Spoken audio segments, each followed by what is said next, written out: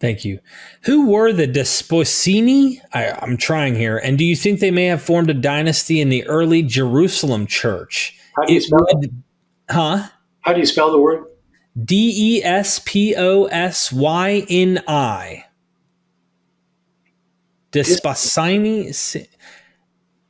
It would beat returning to Galilee and resuming a subsistence lifestyle. What do you think happened to them during the Jewish War, 66 to 70? So it's this idea of a uh, they formed a dynasty in the early Jerusalem church?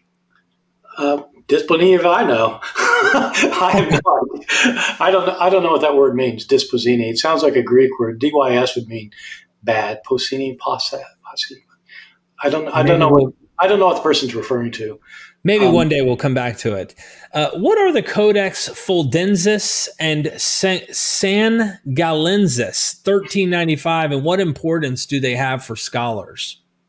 What? I my PhD exams here? what?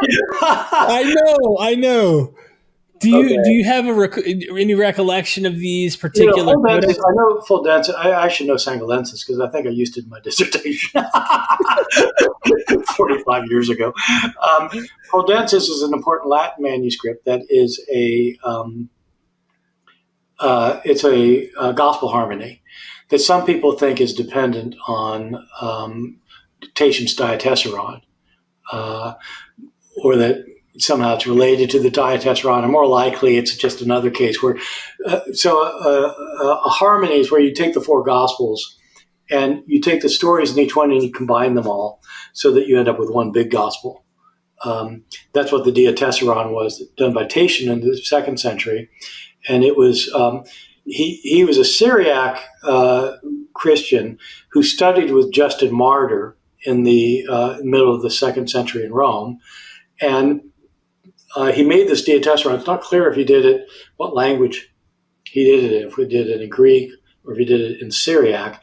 But it became, it got translated in Syriac or written in it, and it became the standard version of the Gospels in Syria for centuries. So they didn't have Matthew, Mark, Luke, and John. They had this thing.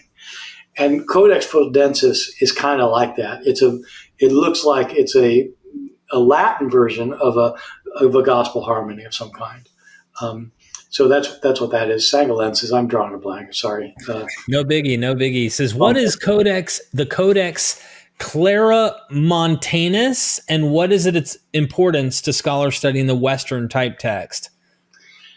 Okay, so um, Codex Claromontanus is uh, what people call Codex D. Um, it is a uh, fifth century text. It's it's one of the most studied texts of uh, uh the of Greek Greek New Testament scholars because it's fairly early. It's one of our earliest texts. It's one of our most complete texts, and it's one of our most bizarre texts. It is a Greek Latin um, book. So it's it's a diglot. It's got Greek on one side of the page and Latin on the other side of the page, and it's so it has the four Gospels and and Acts, and um, and so you have you know you've got Matthew, Mark, Luke, and John, and Acts in in two columns, and it's a bizarre manuscript because it has a lot of um, textual readings. It has lots of ways of wording verses that is completely different from other manuscripts. and so um, the big question has been historically is it just aberrant uh, by an aberrant scribe, or is it standing in an ancient uh, tradition that is aberrant? Or is it standing in an ancient tradition that, in fact, shows that every all these other manuscripts are aberrant? wow. And so, uh, and it has some really interesting textual variants uh, in it. Uh, it has been much written about by their scholars have written entire books on it, uh, a number of really important books on it um, that deal with various aspects of it, including, for example, a classic work by Eldon Epp that tried to show that in the book of Acts, at least, the manuscript has an anti-Jewish bias, for example. Wow, thank you for that. What is the Johannine comma, and when did it first appear in a manuscript? okay. uh, so, in uh, in grammatical terms, a comma is not just a punctuation mark.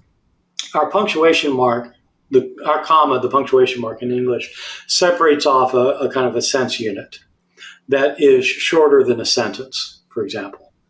Um, or so, it's it's it's shorter than something you'd use a semicolon for. Okay, so in Greek, when they talk about a comma or a colon, they're not talking about the punctuation mark. They're talking about the sense unit.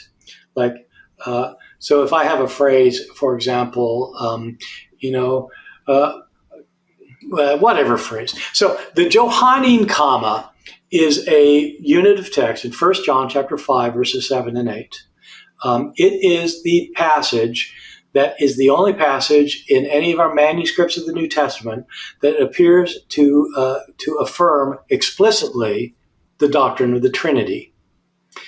In 1 John chapter 5, um, the author of First John, whoever he was, says in the context of a discussion that there are three that bear witness: the Father, let's see, the Father, the water, and the blood. Okay, he's just talked about how about Jesus attests to the water and the blood, and maybe a reference to in the Gospel of John when his side is pierced, water and blood come out, and so he says the water and the blood bear witness, and so First John is saying there are three that bear witness: the Father, the water, and the blood, and that's what it says in almost all the Greek manuscripts. When Erasmus produced his first edition of the Greek New Testament in 1516. It was the first time anybody had printed a copy of the New Testament on a printing press, as opposed to somebody writing it out by hand. When you write it out by hand, it's a manuscript. When you do it on a print on the printing press, then it's a printed text.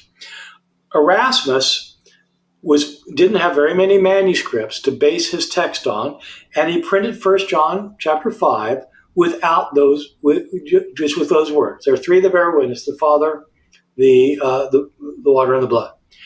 In the Latin tradition, uh, in the Latin Bible, in the manuscripts, the thousands and thousands of Latin manuscripts, and in the Latin printed Bible, the, the Bible that had been used in the Western Church, the Roman Church, for centuries and centuries, had an additional line. There are three that bear witness um, in heaven, the Father, the Word, and the Spirit, and these three are one. And there are three that bear witness on earth the Father, the, the blood, the water, and the blood. So, this phrase, there are three that bear witness in heaven, the Father, the Word, and the Spirit, and these three are one, that's the Johannine comma. And it's a it was a controversial issue because Erasmus, in the first Greek version didn't include it because it wasn't in his Greek manuscript. But many, many, many people objected on the grounds that Erasmus had eliminated the Trinity from the New Testament. And Erasmus pointed out it's not in the Greek manuscripts.